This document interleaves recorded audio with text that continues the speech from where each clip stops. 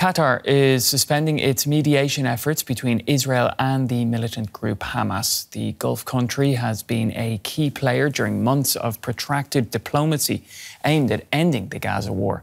But now it says negotiations have stalled and it won't return to the table unless both sides show they are serious about reaching a deal. The decision has led to renewed fears in Israel for the hostages still being held in Gaza. More than 400 days after they were kidnapped, efforts to bring Israeli hostages home appear to have hit a major setback. Protesters in Tel Aviv marked the grim milestone as Qatar pulled out of negotiations between Israel and Hamas. The withdrawal came after months of deadlock. Now some fear a future without them at the table.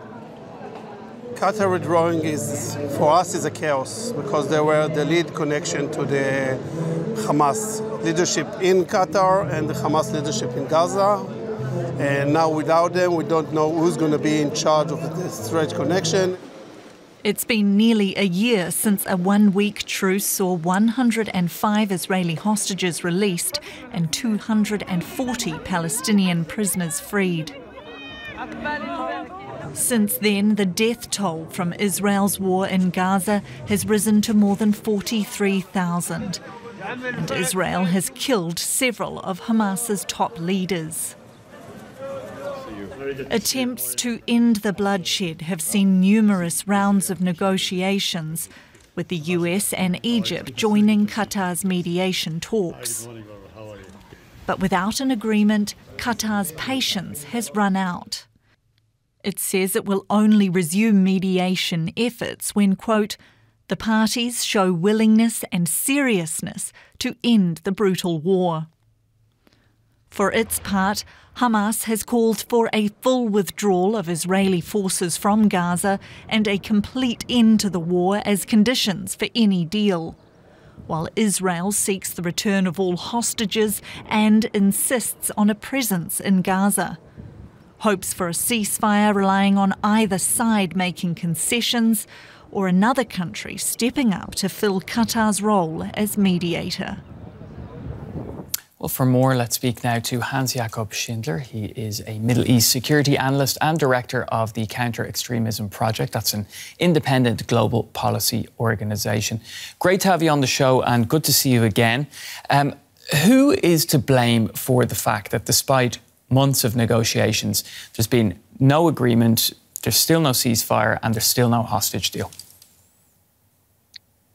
Look, I mean, what Qatar is here doing is really pulling the plug because nothing has moved. Uh, the last round in October, the compromise uh, that was suggested by the US was rejected by Hamas. So Hamas is essentially not ready to have a deal. The Israeli side is not undifficult, but the last rejection was really Hamas. And as the Qatari ministry spokesman said, the political office of Qatar, uh, of, of Hamas in Qatar, really does have no function if there is not a seriousness on the Hamas side for negotiations.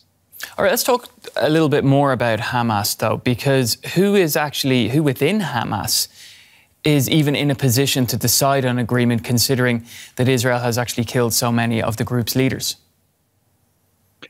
Well, I mean, here is the bad news uh, um, from an Israeli perspective or from an international perspective. Hamas as an organization has weakened its, or is weakened only in its physical terror infrastructure in the Gaza Strip. Its global network of finances, its political leadership, the political office, is still absolutely intact.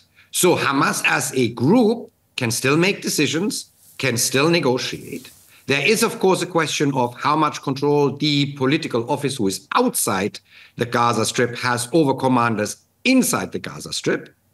But there could have been even small compromises that the, the political office, for example, could have agreed to the exchange of a handful of hostages, as was suggested by the Americans and the Egyptians, to show that it has control, but it wasn't even willing to do this either because it really doesn't have any control anymore. Then the question is why we're talking to the political office, or because the organization still feels with this slow attrition tactics against Israel, it could ultimately prevail. What speaks for option two is really Hamas's global call for more demonstration or de- demonstrations over this weekend. Now, do you see a player other than Qatar that could mediate more successfully, perhaps? I don't know if it's more successfully or not successfully, but it's very clear that Hamas over the last couple of months seems to gravitate for whatever reason a little bit more towards Turkey and away from Qatar. So maybe that is also part of uh, the Qatari assessment that if they continue to be the main mediator, they will be held responsible for failures to reach an agreement. Especially now that the Trump administration is coming in and basically handing this, as we say in Germany, hot potato over to Turkey. Let's actually talk a little bit more about um, the Trump administration because, of course, we've got a few months left of the Biden administration before Trump comes in. Um, how do you see uh, a Trump administration dealing with the situation that we're currently seeing in the Middle East? Do you see huge changes there? To a certain extent. I mean, it was a strategic mistake of Hamas to run out the Biden administration. It was very clear the Biden administration wanted to end this conflict, ideally, of course, before the elections, but definitely before the end of their term in January. So you had a US administration maxima, uh, motivated to the maximum extent to actually get this agreement done not using this window of opportunity from Hamas side was a real mistake. The Biden administration, it is seemed to be conventional wisdom, will give Israel more leeway in what it does, but this may also prove not quite as glorious for, for the hardliners in the Israeli government, Smotrich, Ben Gvir, who had celebrated the Trump administration's election, because Trump has made very clear, President Trump has made very clear that he wants this war to end. Numerous times he said um, he wants Netanyahu to end this thing in Gaza, as he formulates it. So there may actually be more pressure by the Trump administration on the Israeli government going down the line to finish the military operations in Gaza and Lebanon. Okay, we'll leave it here. Uh, Hans Jakob, it's always interesting speaking to you. Thanks for uh, joining us so early on a Sunday morning. Uh, Middle East uh, analyst Hans Jakob Schindler, take care. Thank you so much.